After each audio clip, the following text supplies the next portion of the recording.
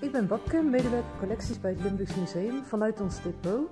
En uh, het bankje wat je hier achter me ziet, uh, heeft het Limburgs Museum geschonken gekregen van een Maastrichtse interieurwinkel.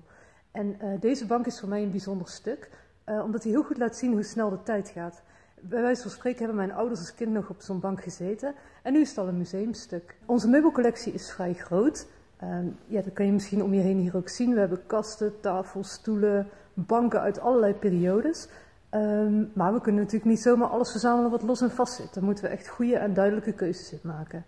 En um, in onze meubelcollectie is de 20e eeuw nog vrij onderbelicht. En in ons collectiebeleidsplan staat dan ook dat we daar goed en duidelijk werk van moeten gaan maken de komende jaren. Uit Limburg kwam vroeger al topdesign meubels en nu nog steeds. Denk bijvoorbeeld aan Leolux.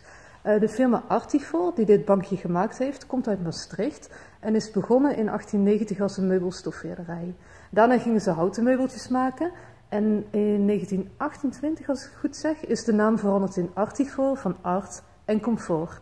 En in de, eh, jaren 50 van de 20e eeuw maakten ze de omslag naar designmeubelen, huurden ze allerlei ontwerpers in.